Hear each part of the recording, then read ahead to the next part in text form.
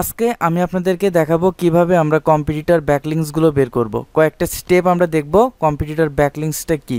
Competitor ব্যাকলিংসটা হচ্ছে এরকম একটা প্রসেস যে আমার যারা কম্পিটিটর, আমি যে কিওয়ার্ডটা র্যাঙ্ক করতে চাচ্ছি, সেই কিওয়ার্ডের জন্য যারা অলরেডি র্যাঙ্কিংয়ে আছে, তারা কোন ব্যাকলিংসগুলো নিয়ে গুগলের ফার্স্ট পেজে আছে। আমাদেরকে সেই জায়গাতে যেতে হবে এবং তারা যে জায়গা থেকে ব্যাকলিংসগুলো পাইছে, আমরাও সেই জায়গা থেকে ব্যাকলিংসগুলো নেব। এই জন্য আমরা আমরা যদি এলো পাথারি ব্যাকলিংস করতে যাই, আমরা এলো পাথারি করলাম web two point zero profile backlinks business creation directory submission তো এই ব্যাকলিংসগুলো আমরা করব, কিন্তু আমরা যদি শুধুমাত্র এভাবে এলো পাথারি ব্যাকলিংস করি, কখনই কিন্তু এর ফলটা ভালো হবে না। কিন্তু আপনি দেখেন, আপনি যে কিওয়ার্ডের জন্য র্যাঙ্কিংয়ের জন্য ট্রাই করতেছেন অলরেডি ওই কিওয়ার্ডের জন্য যারা গুগলের ফার্স্ট পেজে র্যাঙ্কে আছে তারা যে জায়গা থেকে ব্যাকলিংস নিয়ে গুগলের ফার্স্ট পেজে আছে, আমরা যদি ওই জায়গাতে যাই বা ওই জায়গাতে গিয়ে যদি আমরা ব্যাকলিংসগুলো নিতে পারি, তাহলে কিন্তু অনেকটা ইজি হবে যে কোনো কিওয়ার্ড র্যাঙ্কিংয়ের জন্য। তো এই জন্য আমাদেরকে কম্পিটিটর ব্যাকলিংসটা বের করতে হবে। তাহলে আমাদের কাজগুলো কিন্তু ইজি হয়ে যাবে। দেখেন, এটা হচ্ছে আমার একটা ক্লায়েন্টের ওয়েবসাইট যেটা হচ্ছে বিউটি সার্ভিস নিয়ে কাজ করে অস্ট্রেলিয়াতে। তো এই ওয়েবসাইটের জন্য, এই ওয়েবসাইটের জন্য আপনাদেরকে আজকে একটা আমি ক্লায়েন্টের যে কোশ্চেনগুলো এই বিষয়টা আমি দেখাবো যে কোন ধরনের কোশ্চেনগুলো করে। এটা হচ্ছে একটা ক্লায়েন্টেরই সরাসরি কোশ্চেন যেটা হচ্ছে যেটা হচ্ছে, আমরা যখন ক্লায়েন্ট কমিউনিকেশন করি, একটা ফুল সম্পূর্ণ এসিও প্রজেক্টের জন্য কোন ধরনের কোশ্চেন করতে পারে ক্লায়েন্ট তো এখানে দেখেন, এই জিনিসটা আমাদের জন্য শুধুমাত্র যে কাজের জন্য কম্পিউটার অ্যানালাইসিস দরকার এরকম না। ক্লায়েন্টকে যখন আমরা ক্লায়েন্ট কমিউনিকেশনের জন্য যখন আমরা আনসারগুলো করব, তখনও কিন্তু দরকার হয়। তো ফ্রিল্যান্সিংটা হচ্ছে আমাদের একটু ধৈর্য ধারণ করতে হয়। কারণ আমরা কাজটা আমরা খুব দ্রুত পেতে পারি, একটু দেরি হতে পারে। যেমন এর আগে তার আগের ব্যাচের একটা স্টুডেন্ট ছিল। সেই স্টুডেন্টটা যখন কোর্সটা শেষ হয়েছে কোর্সটা শেষের পর সে ফাইবার অ্যাকাউন্ট করে নাই বা ফাইবার বিভিন্ন মার্কেট প্লেসে এখন পর্যন্ত যায় নাই। যাওয়ার পর সে ফাইবার গিগ দেওয়ার পর মাত্র মাত্র ছয় দিনের মাথায় সে ফার্স্ট একটা প্রজেক্ট পাইছে। ফার্স্ট একটা প্রজেক্ট পাইছে যেটা হচ্ছে একশো আশি ডলারের মান্থলি দেবে তাকে। তারপর আমি আপনাদেরকে গত ক্লাসেও কিন্তু একটা সেলের কিন্তু সরাসরি কমিউনিকেশনটা আমি দেখালাম আপনাকে। যে কমিউনিকেশন ক্লায়েন্ট কমিউনিকেশন করতে তার প্রবলেম হচ্ছে, আমি নিজেই সেটা লিখে দিচ্ছি যে এটা এটা বলো যেটা তোমার কাজ পাওয়ার জন্য ইজি হবে। তো অনেক সময় ধরে ক্লায়েন্টটা তাকে জাস্টিফাই করছে যে আসলে সে ওই টাইমে কাজ করতে পারবে কি না তো এই জাস্টিফাই করার পর তাকে দেওয়ার কথা ছিল একশো একশো আঠাশ ডলার পরবর্তীতে তার এটাও কিন্তু রিমোটলি একটা জবের মতো হয়েছে। দুশো পঞ্চাশ ডলারে তাকে কাজটা দিছে। প্রথমে যে প্রপোজালটা পাঠাইছিল, পরে সেটা বৃদ্ধি পাওয়ার পর দুশো পঞ্চাশ ডলার মান্থলি দেবে। তো এরকমভাবে এরকমভাবে যদি আপনি সঠিক প্রসেসে যদি মার্কেট প্লেসে যেতে পারেন, একদম সঠিক প্রসেসে যদি মার্কেট প্লেসে যেতে পারেন ভালোভাবে কাজ করতে পারেন, আপনি অবশ্যই বায়ারের নক পাবেন, বায়ারের থেকে কাজ পাবেন।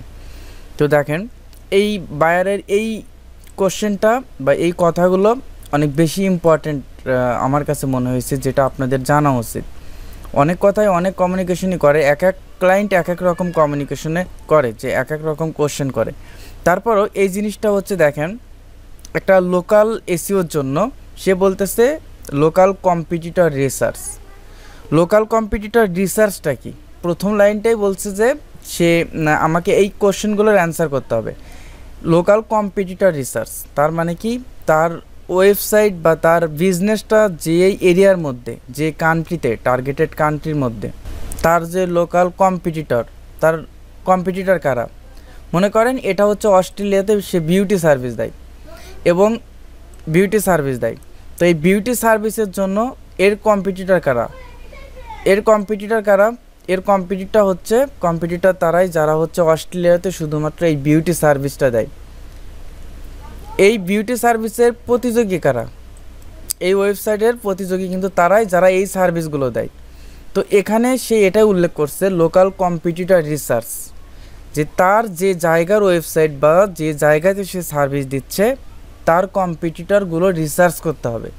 Then you you will find out the top three competitors three হোক ফোর হোক ফাইভ হোক, তোমাকে প্রথম তিনটা কম্পিটিটর বের করতে হবে। যে আমার কম্পিটিটার কারা, তোমার তিনটা কম্পিটিটার আমাকে, তোমাকে বের করতে হবে। এটা হচ্ছে সম্পূর্ণ এসিও প্রজেক্টের জন্য সে এই কথাগুলো বলছে।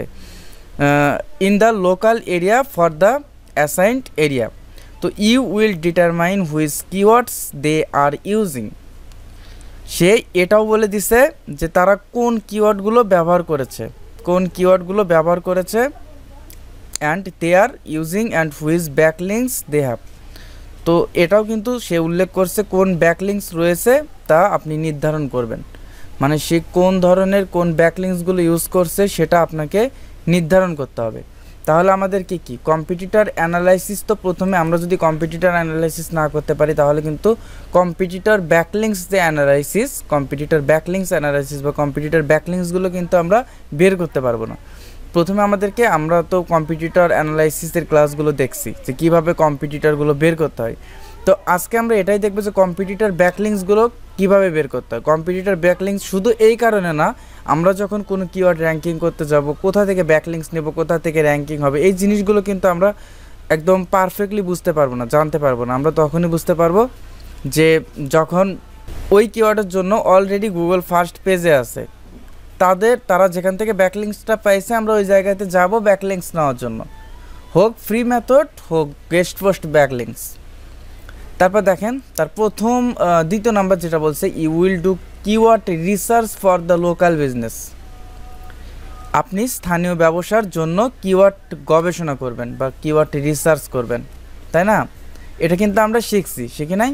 You will create local citation for the business আপনার ব্যবসার জন্য স্থানীয় উদ্ধৃতি তৈরি করবেন। তো লোকাল সাইটেশনের জন্য আমি আপনাদেরকে লিস্ট দিয়ে দেব। এটা আপনাদের, এটা, এটার জন্য আপনাদেরকে কোনো কষ্ট করতে হবে না। তারপর চার নম্বর দেখেন you will start on page and technical SEO যেটা হচ্ছে আমাকে কি করতে হবে? অন পেজ এসিও করতে হবে অ্যান্ড টেকনিক্যাল এসিওটা করতে হবে।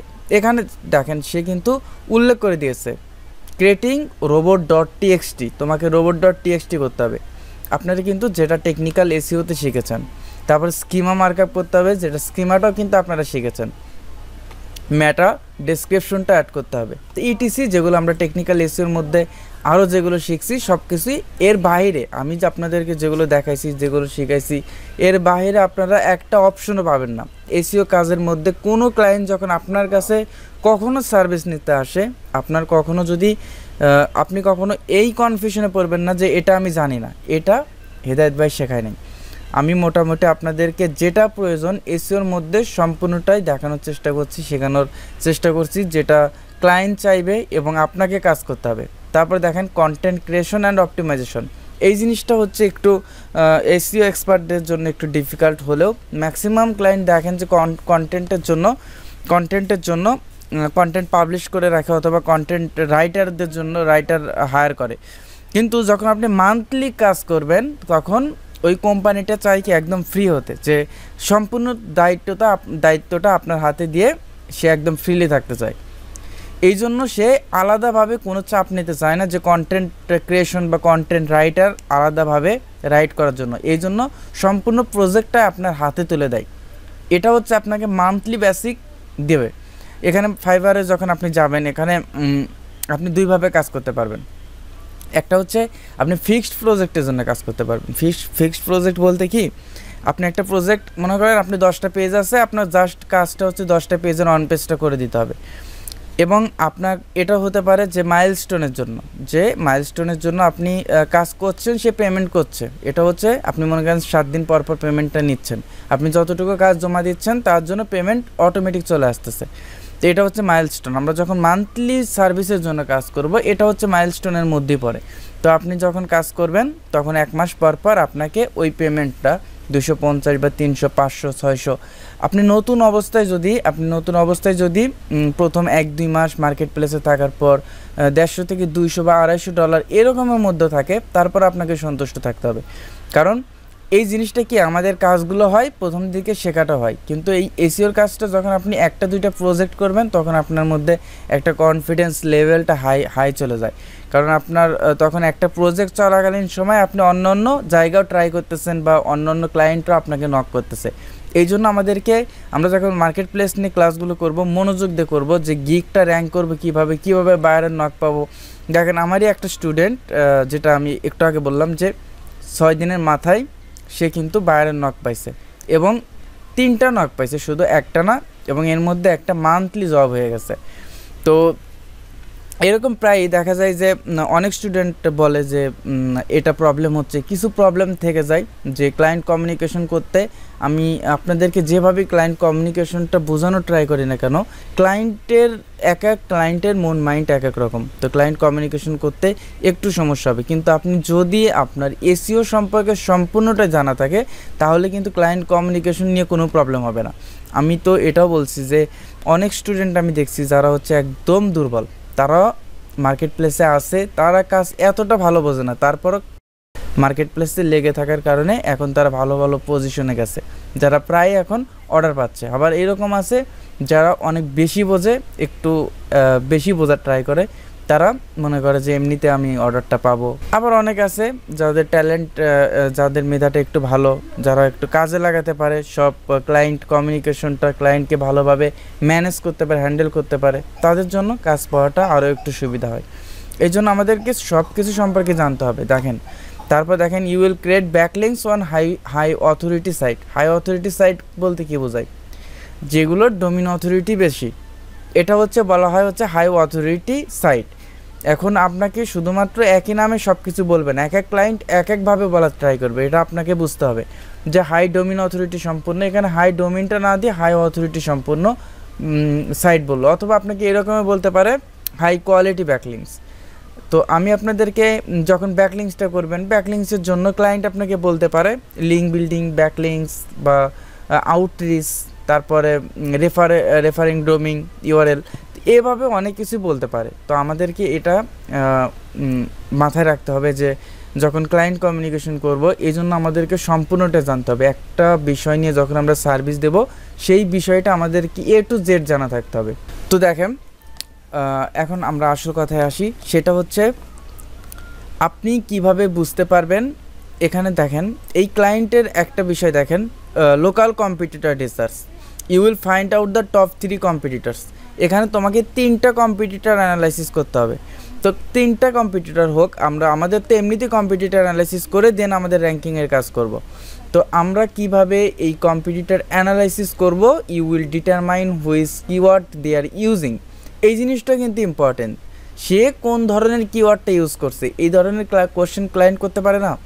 যে সে কোন ধরনের কিওয়ার্ডটা ইউজ করছে? আমার কম্পিটিটার যারা যারা যারা শুধুমাত্র অস্ট্রেলিয়াতে বিউটি সার্ভিস দিচ্ছে, বিউটি সার্ভিস দিচ্ছে, এই বিউটি সার্ভিস দিচ্ছে তাদের ওয়েবসাইটগুলো কোন কোন কিওয়ার্ড নিয়ে কাজ করতেছে, যারা যে কিওয়ার্ড দ্বারা সে বেনিফিটেড হচ্ছে।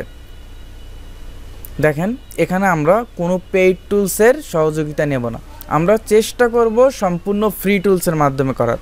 যদি এইরকম প্রজেক্ট আসে, যদি আপনার প্রজেক্টের জন্য বেশি বেশি পরিমাণ আপনাকে ডিমান্ড দিচ্ছে, সেক্ষেত্রে আপনি পেইড টুলস ব্যবহার করতে পারেন। মোটামুটি আপনাকে দেড়শো, দুশো ইউএসডি দিচ্ছে, তখন আপনার পেইড টুলসের দরকার নেই। এবং ফ্রি টুলসের মাধ্যমে আমরা এক্স্যাক্টলি একটা ভালো রেজাল্ট পাই। তো দেখেন, এখানে এই ওয়েবসাইটটা এই ওয়েবসাইটটা কম্পিটিটার অ্যানালাইসিস যখন করব, তখন আমরা জাস্ট আমরা বিভিন্নভাবে করতে পারি, বিভিন্ন টুলসের মাধ্যমে করতে পারি। তো আপনি এই স্টেপ এই স্টেপ এই স্টেপ র্যাঙ্কিং চেকার যেটা র্যাঙ্কিং র্যাঙ্কিং র্যাঙ্কিং চেকার এখানে যাব। দেখেন, এই step ranking checker free keyword rank checker tools এই স্টেপ। এখানে যাওয়ার পর, এই যে ইন্টার কিওয়ার্ড আছে না, এখানে আপনার কিওয়ার্ডটা আপনি এখানে বসান আগে। প্রথমে বিউটি সার্ভিস মনে করেন এই কিওয়ার্ডটার জন্য আমি এখানে বসালাম বসালাম। তারপরে ইন্টার ডোমিন অর ইউআরএল তারপরে এই যে ইউআরএলটা আছে না ইউআরএলটা আমি বসালাম। বসানোর পর এখান থেকে আমি অনেক কিছু জানতে পারব। তো এটা হচ্ছে অস্ট্রেলিয়া না? অস্ট্রেলিয়া। তারপরে চেক র্যাঙ্কিং দেখেন, এখানে কিন্তু no current ranking for beauty service এই কিওয়ার্ডের জন্য এই ওয়েবসাইটে কোনো ধরনের র্যাঙ্কিংটা নাই। আমাকে কি করতে হবে? এটাই র্যাঙ্কিং করতে হবে। এবং এখান থেকে আমরা আর একটা বিষয় জানতে পারব, সেটা হচ্ছে এই জিনিসটা দেখার এই কারণটাই হচ্ছে এটা। এবং আমরা যখন কোনো কিওয়ার্ড র্যাঙ্ক করব, এই এই টুলসের মাধ্যমে ফ্রিতে এটা দেখে নেব যে কয় নাম্বার পজিশনে আছে। অথবা এরকম একটা স্ক্রিনশট আপনারা দিয়ে নেবেন। স্ক্রিনশটটা দিয়ে ক্লায়েন্টকে দেখে দেবেন যে আপনার এই কিওয়ার্ডটা কিন্তু এখন পর্যন্ত কোনো র্যাঙ্কিংয়ের মধ্যে নাই। অস্ট্রেলিয়াতে কোনো র্যাঙ্কিংয়ের মধ্যে নাই। যেটা সার্চ ইঞ্জিন রেজাল্ট পেজে নাই। তো আপনি যখন র্যাঙ্কিং করবেন দেন আপনারা আরেকটা স্ক্রিনশট দেবেন যে তোমার কিওয়ার্ডটা আমি র্যাঙ্ক করেছি, যেটা হচ্ছে এখন টপ টেনে এবং টুয়েলভে বা যখন বারোটার মধ্যে রাখতে পারবেন, তখন ফার্স্ট পেজে আসে। আপনার আমরা চেষ্টা করব টপ টেনের মধ্যে রাখা। ওকে তো দেখেন, এখান থেকে আমরা একটা জিনিস অন্তত পাইলাম, সেটা হচ্ছে আমরা কম্পিটিটারগুলো কিন্তু এখান থেকে পাইলাম।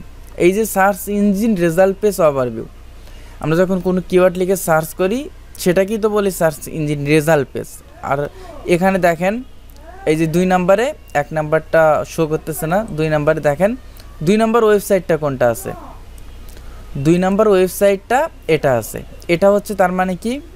এটা হচ্ছে আমার কম্পিটিটর যারা হচ্ছে এই কিওয়ার্ডের জন্য বিউটি সার্ভিসের জন্য দুই নাম্বারে আছে এই ওয়েবসাইট তিন নাম্বার নাই, চার নাম্বার আছে এই ওয়েবসাইট পাঁচ নাম্বার আছে এই ওয়েবসাইট দেখেন, এখানে যদি আমি নতুন একটা ট্যাব নিয়ে এই জিনিসগুলো যদি ওপেন করি, তাহলে আমি বুঝতে পারব যে আমার কম্পিটিটর কারা। এখন ক্লায়েন্ট আমাকে যে ধরনের কোশ্চেন করছে, যে you find out the top three competitors আপনাকে তিনটা কম্পিটিটর ফাইন্ড করতে হবে, খুঁজতে হবে। এখন ইনস্ট্যান্ট যখন আপনাকে এই কোশ্চেনের অ্যান্সারটা করবেন, তখন কিন্তু আপনি কিন্তু এই যে এই যে লিঙ্কগুলো, এই ওয়েবসাইটগুলো কিন্তু আপনি কিন্তু দিয়ে দিতে পারছেন যে টপে কারা আছে। পারতেছেন না? আমাদের কি এটা সময় লাগবে বের করে দিতে? শুধু তাই না? এবং এটা দিয়ে আমরা কম্পিটিটার ব্যাকলিংসগুলো বের করব। দেখেন, এটা কিন্তু প্রথম কোশ্চেনের অ্যান্সার কিন্তু চলে আসলো। এবং এটা আমাদের জানা দরকার, এটা আমাদের জানা দরকার, প্রত্যেকটা জিনিসই জানা দরকার। যখন আমরা কোনো কিওয়ার্ড র্যাঙ্কিং করতে যাব, তখন কিন্তু আমাদের কম্পিটিটরদের শক্তিমত্তা কম্পিটিটরদের কোথা থেকে ব্যাকলিংস নিছে, এই জিনিসগুলো কিন্তু আমি এখান থেকে দেখতে পারব। তো এই ওয়েবসাইট কোথা থেকে ব্যাকলিংস নিছে? এই ওয়েবসাইটের ডোমিন অথরিটি পেজ অথরিটি সব আমরা দেখে নেব। আমি আজকে আপনাদেরকে বেশ কয়েকটা প্রসেস দেখাবো কম্পিটিটর ব্যাকলিংস বের করার। দুইটা, তিনটা প্রসেস দেখাবো, যেটা সব থেকে আপনাদের জন্য ইজি হবে। আচ্ছা নেটে মেবি প্রবলেম এই কারণে একটু প্রবলেম হচ্ছে। আচ্ছা এই ওয়েবসাইটের এই ওয়েবসাইটগুলো কোথা থেকে ব্যাকলিংস নিয়ে, তারপর গুগলের ফার্স্ট পেজে আছে। একটা ওয়েবসাইট কয়টা কারণে? গুগলের ফার্স্ট পেজে থাকতে পারে। হয় তার কন্টেন্ট কোয়ালিটি ভালো, না হয় তার সে কোনো হাই ডোমিন অথরিটি সম্পূর্ণ ব্যাকলিংস নিয়ে গুগলের ফার্স্ট পেজে আছে, অথবা তার ওয়ান পেজ এবং অন্যান্য টেকনিক্যাল ইরোরগুলো ফিক্স করে সে গুগলের ফার্স্ট পেজে আছে। এই সব কিছু আমাদেরকে অ্যানালাইসিস করতে হবে। তো আমি আপনাদেরকে এসিও কোয়েক যেটা হচ্ছে কোয়েক এটা কিন্তু সবাই জানেন। তো এই টুলসের মাধ্যমে আমরা এখান থেকেও দেখতে পারব। দেখেন পেজ ইনফো এই পেজ ইনফোর মধ্যে মোটামুটি সব কিছুই আমরা দেখতে পারব। দেখেন এর ট্রাফিকটা কীরকম? Forty six point two K এটা হচ্ছে মান্থলি ট্রাফিক তো এবং এখান থেকে দেখেন, আমি যদি ডায়াগনোসিসে যাই ডায়াগনোসিসে যাওয়ার পর এখানে আপনি তার হচ্ছে ইমেজ তারপরে হেডিং অন পেজ সম্পর্কে সব কিছু জানতে পারবেন। নিচে একদম দেখতে পারবেন তার টেকনিক্যালগুলো technical robot dot TXT XML site map language তো সব কিছু আমরা দেখতে পারব। তো আমাদের এত কিছু দরকার নাই। আমরা ইন্টারনাল লিঙ্কিং এটা এটা ইন্টারনাল লিঙ্কিং আমরা আমরা দেখব। এবং নেক্সট যেটা, সে কোথা থেকে ব্যাকলিংসটা পাইছে, সেটা হচ্ছে এক্সটার্নাল রিসোর্স দেখেন টোটাল লিঙ্ক আছে কত? টোয়েন্টি থ্রি দেখছেন? সে টোটাল লিঙ্কটা নিচে হচ্ছে টোয়েন্টি থ্রি তো এখন আপনি এখান থেকে একটা শিট নিতে পারেন। শিট নেওয়ার পর আপনার কম্পিটিটররা কোথা থেকে ব্যাকলিংসটা সংগ্রহ করে গুগলের ফার্স্ট পেজে আছে।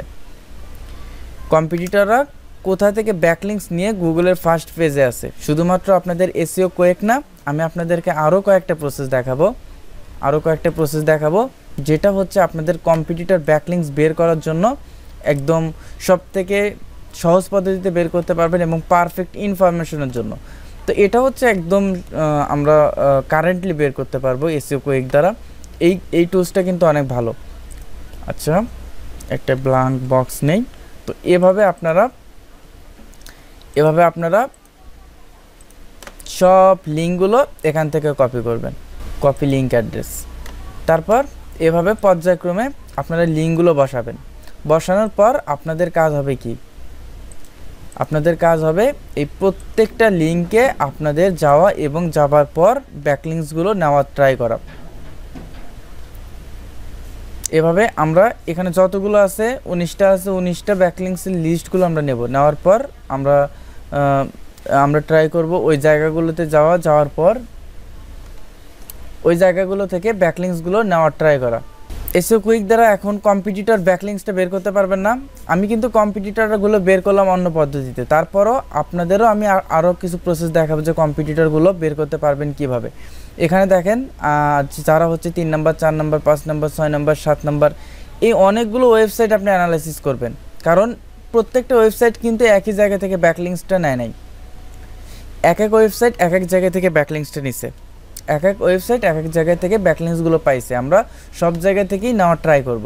তাহলে আমাদের কি আমাদেরকে কিন্তু অতটা কষ্ট করতে হবে না যে কোথা থেকে ব্যাকলিংস নিলে আমরা গুগলের ফার্স্ট পেজে যেতে পারব। যেহেতু এই নিশের জন্য ওই জায়গা থেকে ব্যাকলিংস এরা পাইছে, আমরা সেম নিশের জন্য আমাদের পাওয়ার সম্ভাবনা হান্ড্রেড পারসেন্ট থাকে। এখন আর একটা প্রসেস আছে, যেটা হচ্ছে আপনি এখানে যাবেন, দেখেন backlinks backlink checker backlink checker checker এই স্টেপ এই এই স্টেপে যাওয়ার পর ফ্রি ব্যাকলিং চেকার বাই এই স্টেপ এখানে দেখেন ইন্টার ডোমেন অর ইউআরএল তো আপনি মনে করেন আপনার কম্পিউটার এই যে এটা কম্পিটিটর কম্পিটিটরের জন্য এই ডোমেইনটা আমি এখানে দিলাম, তারপর তারপর একটু অপেক্ষা করলেই চলে আসবে আমাদের সামনে দেখেন ডোমিন রেটিং সেভেন্টি ফাইভ এবং এখানে আমার কম্পিটিটররা কোথা থেকে ব্যাকলিংস পাইছে, সব ব্যাকলিংসের লিস্ট কিন্তু চলে আসলো। আমরা যদি সেই ওয়েবসাইটগুলোর কাছে যাই ব্যাকলিংস সংগ্রহ করার জন্য, সেখান থেকে কিন্তু আমরা ব্যাকলিংস পাওয়ার সম্ভাবনা সব থেকে বেশি, কারণ তার নিশ এবং আমার নিশটা কিন্তু সেম আপনারা এই স্টেপটা ব্যবহার করতে পারেন। এই স্টেপ আমি মনে করি ওয়ান অফ দ্য বেস্ট একটা টুলস যেটা আমি প্রায় সিক্সটি পার্সেন্ট কাজগুলো এই স্টেপের মাধ্যমে কমপ্লিট করি। এবং আরেকটা প্রসেস যেটা হচ্ছে আমরা সিমরাশের, যদি আমরা সিমরাশ ব্যবহার করি, এই সিমরাশের মাধ্যমেও আমরা কম্পিটিটর ব্যাকলিংসগুলো বের করতে পারব। তো দেখেন, আমি যদি আমার ক্লায়েন্টের ওয়েবসাইটের ইউআরএলটা নিয়ে ডোমিন ওভারভিউতে দেই, কই আমার ক্লায়েন্টের ওয়েবসাইট ওকে আমি এখান থেকে লিঙ্কটা কপি করলাম। দেন আমি সার্চ ডোমেন আর সাব ডোমেন তো এখান থেকে দেখেন